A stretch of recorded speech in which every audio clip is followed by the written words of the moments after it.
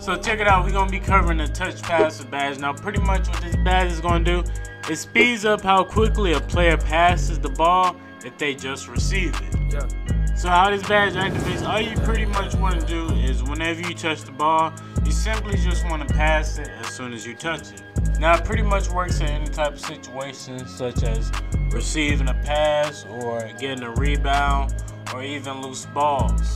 So for the badge test, we're going to be using Jokic. Pretty much what we want to see is just the speed difference between the bronze, silver, gold, and Hall of Fame level. First, we got the bronze level.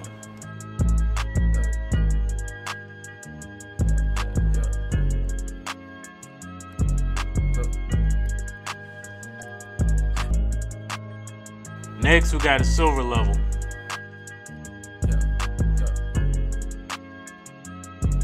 Yeah,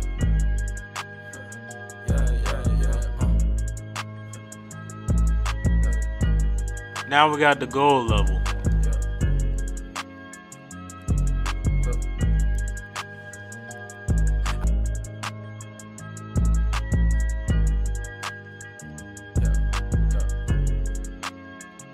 And last, the Hall of Fame level. Yeah, yeah,